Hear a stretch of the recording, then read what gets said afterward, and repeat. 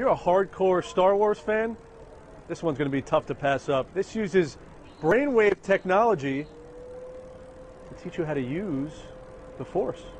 Part of a new line of Star Wars toys aimed at teaching science lessons.